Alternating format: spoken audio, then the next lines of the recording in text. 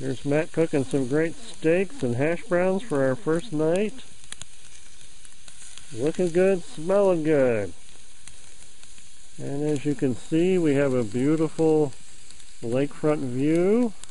It's early evening now, and we'll be going fishing a little bit later. There's the canoe, all our stuff.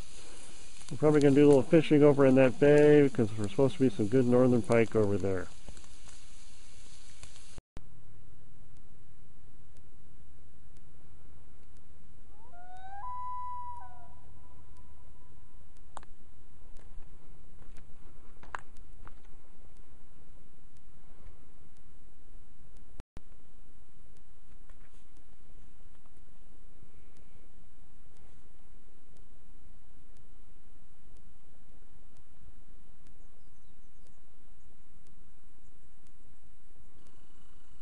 First morning in camp. It's just a beautiful sunrise.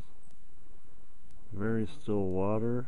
Lots of fish activity, but gorgeous. Just gorgeous. Very peaceful.